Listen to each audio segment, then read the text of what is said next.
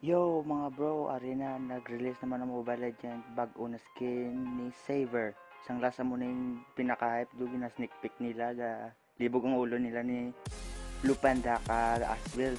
So guys, lang taon na to ng first look ni Saver, the new skin.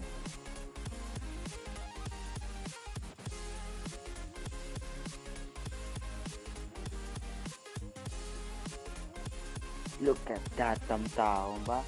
Tamtaong di dyan. Tapos damo pa na yung effect skills siya. Pag sa frame, bago na frame, sini kung baklom siya na na hero, may ara na frame para rin yun si, si iya. Especially dyan, eh, grabe ang animation mo.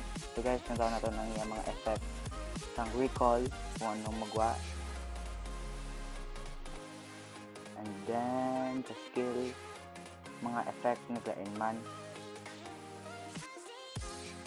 I think available nito sa Starlight member. Mga uh, gawa nito sa advanced server guro. Try ko lang kung makuha ko sa ate. Thank you. So guys, thank you for watching. Don't forget to like and subscribe. And see you next time. Peace out.